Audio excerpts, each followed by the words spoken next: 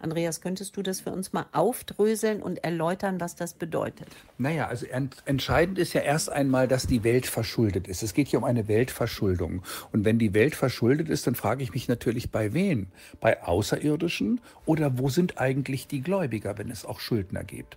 Und dazu ist es wichtig zu wissen, wie das mit dem Geldsystem funktioniert. Wir kennen ja in der Natur zum Beispiel gar keine Schulden. Wir kennen keine Minuskartoffeln, keine Minusäpfel, kennen wir alles nicht. Wir kennen nur ein Guthaben und aus dem kann man arbeiten. Und wenn das Guthaben alle ist, dann ist eben nichts mehr da. So einfach ist das. In der, in der Finanzwelt gibt es eben halt auch Minus. Und dieses Minus in der Physik übersetzt, das ist mal mein Beispiel, nehmen wir mal an, wir haben einen Raum, da sind fünf Menschen drin und jetzt gehen acht raus. Dann müssen drei wieder reinkommen, dass der Raum leer ist. Ja, das verursacht bei uns natürlich einen Knoten im Kopf, weil es absurd ist, aber das Geldsystem arbeitet genau damit. Entscheidend ist, wenn irgendeiner Schulden macht, und es geht um die Weltverschuldung, muss es ja irgendjemand geben, bei dem die Schulden aufgenommen wurden. Es hat also zwei Seiten der Medaille. Wir haben also nicht nur ein Schuldenproblem, sondern wir haben auf der anderen Seite ein Reichtumsproblem. Denn diese Schulden wird, werden gemacht bei Gläubigern, die auf der anderen Seite sind, die nämlich jetzt diese Forderungen haben. Das heißt, wir könnten zum Beispiel über ein Forderungsproblem einiger weniger Menschen, die wir finden in den Kapitalsammelbecken, Goldman Sachs, BlackRock und so weiter und so fort, über die letztendlich die Schulden aufgenommen werden, nämlich in Form von Kapitalanlegern und dann wird das über Zentralbanken und so weiter gemacht in einem sehr komplexen Vorgang und so werden die Schulden immer weiter aufgebaut. Das bedeutet, wir müssen anfangen, uns die Frage zu stellen, wie kann man eigentlich dieses Problem lösen? Wenn es heißt, eine Weltverschuldung, hat zum Beispiel Deutschland Schulden bei Italien? Nee, hat Italien Schulden bei Deutschland? Wenn die das hätten, könnte man die Schulden ja gegeneinander aufrechnen, wären die Schulden ja irgendwann null.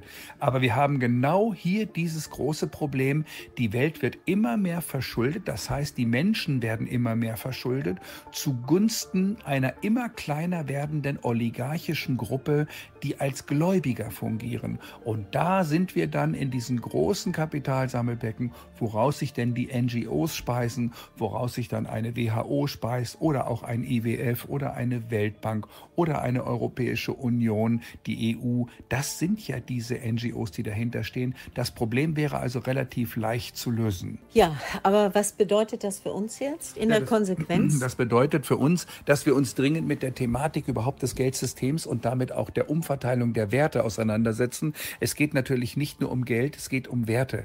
Und wenn nämlich einer die Ansprüche auf das Geld hat, dann äh, möchte er natürlich auch als Gläubiger, wenn er Geld rausgibt, dann glaubt er, das Geld zurückzubekommen, aber dann sagt er, ich möchte gerne ein paar Sicherheiten haben. Wenn ich einen Kredit aufnehme, dann muss ich als Sicherheit zum Beispiel ein Grundstück geben oder mein Gehalt notfalls pfänden lassen, worauf man zugreifen kann, wenn ich meine Schulden nicht mehr bediene.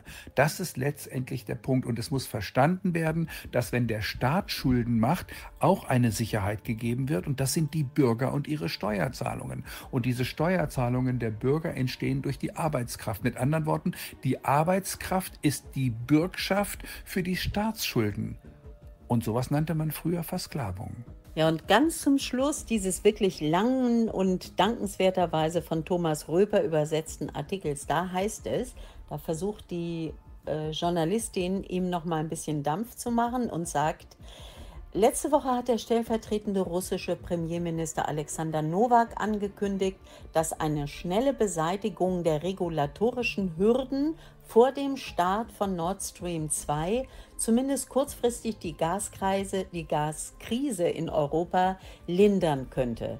Bitte sagen Sie mir, Herr Putin, ob Sie von Europa Signale erhalten haben, dass es den Prozess der Beseitigung administrativer Hindernisse beschleunigen kann, damit Nord Stream 2 so bald wie möglich in Betrieb gehen kann. Und Putin antwortet, nein, Ausrufezeichen. Im Gegenteil, wir sehen, dass die administrativen Hindernisse nicht beseitigt werden. Es gibt verschiedene Probleme im Zusammenhang mit dem dritten Energiepaket in Europa, das auch Nord Stream 2 regelt. Hier gibt es eine Reihe von Details, auf die ich jetzt nicht eingehen möchte. Es gibt sie, diese administrativen Hindernisse. Sie sind noch nicht überwunden, sie sind noch nicht beseitigt. Ich weiß, dass der Betreiber von Nord Stream 2 im Gespräch ist, auch mit den deutschen Behörden. Die deutsche Regulierungsbehörde muss die entsprechende Entscheidung treffen, was sie bisher nicht getan hat. Ja, klare Worte und genau so kann man das auch erkennen, dass hier offenbar die Politik tatsächlich verachtend gegenüber ihren eigenen Menschen in Europa sagt, es ist uns völlig egal, die politische Taktiererei im Interesse bestimmter Gruppierungen, die darüber stehen in der Macht, die sind uns wichtiger als die Versorgung der Menschen, dass sie im, im Winter alleine nur einen warmen Raum haben.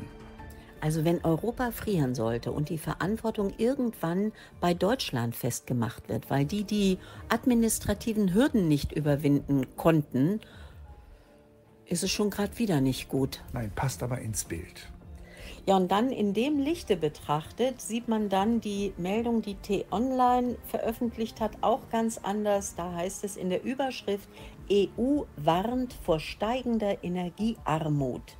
Die Energiepreise steigen, Millionen Europäer können es sich womöglich nicht mehr leisten, ihre Wohnung richtig zu heizen und diese Zahl könnte sich noch steigern, warnt der EU-Arbeitskommissar Nicolas Schmidt. Es gebe bereits Millionen Menschen, die unter Energiearmut litten und er sagt, die könnte eben noch größer werden. Zwar könne die EU-Kommission den EU-Ländern helfen, die Auswirkungen der derzeit hohen Energiepreise für die Menschen zu begrenzen, aber, das wird, ist jetzt wirklich lustig, wenn es nicht so traurig wäre, es sei primär Sache der nationalen Regierungen Maßnahmen zu ergreifen. Da sind die nationalen Regierungen dann wieder gefragt. Ja klar, auch das passt natürlich dazu. Es führt in die völlige Verwirrung auf der einen Seite EU, auf der anderen Seite eben die Nation, gerade so, wie man es sich wünscht. Also ich mache mir die Welt, wie sie mir gefällt. Das ist das Pippi Langstrumpf-Prinzip. Ja, und jetzt kommt noch zum Schluss eine Meldung. Ähm, der IWF warnt, Weltweite Staatsverschuldung erreicht ein Rekordhoch von über 88 Billionen US-Dollar. Mal abgesehen davon, dass diese 88 keine gute Zahl ist, ist ja ein Code eher, aber offenbar haben die das hier so ausgerechnet. Und äh, das hat eben vergangene Woche der IWF mitgeteilt, dass die weltweite Staatsverschuldung in diesem Jahr auf 97,8 Prozent des weltweiten Bruttoinlandsprodukts geschätzt wird. Das sind 0,8 Prozentpunkte weniger als im Vorjahr, stellt aber immer noch einen Rekordwert dar der auf die massiven, hier heißt es so, fiskalischen Reaktionen auf die Covid-Pandemie zurückzuführen ist. Ihr Lieben, lasst euch nicht versklaven. Wir sind schon wieder am Ende dieses Podcastes an dem schönen Montag angekommen. Bleibt im Vertrauen, geht ins Gebet, wenn es euch nicht so gut geht und verbindet euch mit euren Helfern. Lasst euch stabilisieren und raus aus der Angst. Das ist das Wichtigste was wir euch immer, immer, immer wieder mit auf den Weg geben möchten. Wir selber arbeiten auch mit Nachdruck daran, wissen, dass man manchmal hinten überkippt, aber aufstehen, Krone richten, weitergehen.